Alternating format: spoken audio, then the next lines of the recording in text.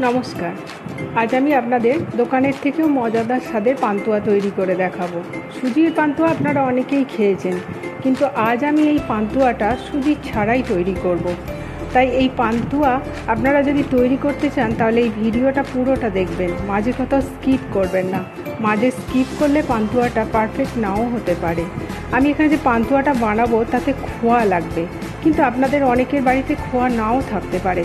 তাই আমি এখানে ইনস্ট্যান্ট খোয়া তৈরি করে দেখাবো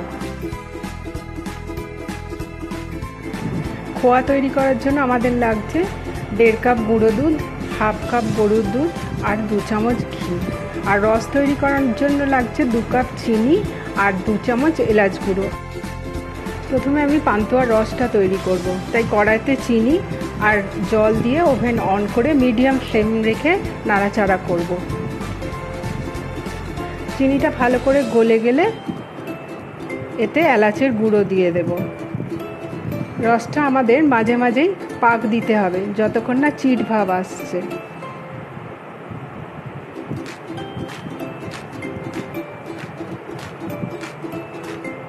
এখন আমাদের চিট ভাব এসে গেছে, এবার আমি ওভেনটা অফ করে রসটা নামিয়ে নেব। এবার আমি ইনস্ট্যান্ট খোয়া তৈরি করব। প্রথমে আমি ওভেন অন করব না। ওভেন অন না করে আমি কড়াইতে গরুর দুধটা দিয়ে দেব। এরপর এতে ঘিটা দিয়ে একটু নেড়ে নেব।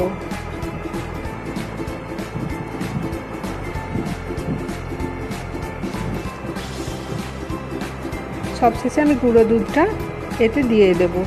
দিয়ে একটু নেড়ে নেব।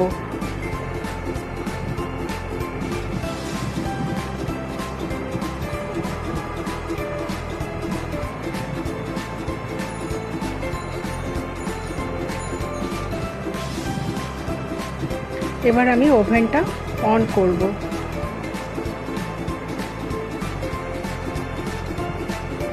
ওভেনটা মিডিয়াম ফ্লেমে রেখে আমি এটা সমানে পাক দিতে থাকব। এটা সমানে পাক না দিলে কড়াতে চিটিয়ে যেতে পারে। আমার খোয়া তৈরি হয়ে গেছে। এবার আমি এটা প্লেটে তুলে নেব।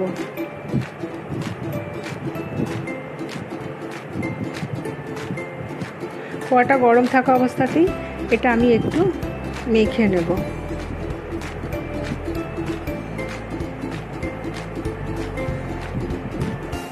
এবার আমি এতে তিন চামচ ময়দা দেব।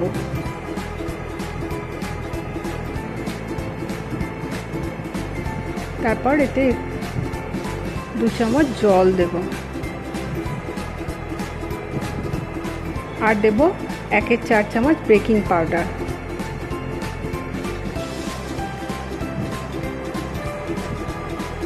এবার এটা আমি ভালো করে মেখে নেব। ভালো করে মেখে দোলে নেব।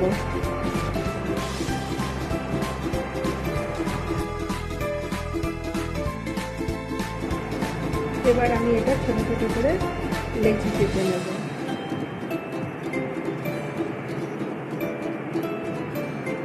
লেচির সাইজটা ছোট রাখার চেষ্টা করবেন, কেননা ভাজার পর এটা অনেকটাই ফুলে যাবে। এবার আমি লেচিগুলো একটা ফ্ল্যাট জায়গার উপর রেখে হাতের তালু দিয়ে এইভাবে গোল করে নেব। এর ফলে পান্তুয়াগুলো ভাজার সময় ভেঙে যাবে না। এইভাবে আমি সবগুলো গোল করে পাকিয়ে নেব। এবার কড়াইতে তেল গরম করব। তেলের টেম্পারেচারটা এমন হবে যাতে আমি আগুন ডোবাতে পারি। এবার একে একে পান্তুয়াগুলো কড়াতে দিয়ে দেবো। পুরো পদ্ধতিতেই আমি ওভেনের ফ্লেমটা লো রাখব। তা না হলে পান্তুয়ার বাইরেটা খুব তাড়াতাড়ি লাল হয়ে যাবে, কিন্তু ভিতরটা ভালো করে ভাজা হবে না। পান্তুয়াগুলো ভাজার সময় মাঝে মাঝে উল্টে দেবেন, যাতে কড়ায় চিটে না যায়। আর সব দিকটা ভালো করে ভাজা হয়। আমার পান্তুয়াগুলো লাল হয়ে এসেছে, এবার আমি এগুলো প্লেটে তুলে নেব। আগে আমি যে রসটা তৈরি করে রেখেছিলাম, সেই রসটা গরম থাকা অবস্থাতেই আমি ভাজা পান্তুয়াগুলো দিয়ে দেবো। রসে দিয়ে পান্তুয়াগুলো অবশ্যই ছয় থেকে আট ঘণ্টা রেখে দেবেন, তবেই রসটা ভালো করে ঢুকবে আর পান্তুয়া নরম তুলতুলে হবে। আমার এই রেসিপিটি যদি আপনাদের ভালো লেগে থাকে, অবশ্যই সাবস্ক্রাইব করবেন।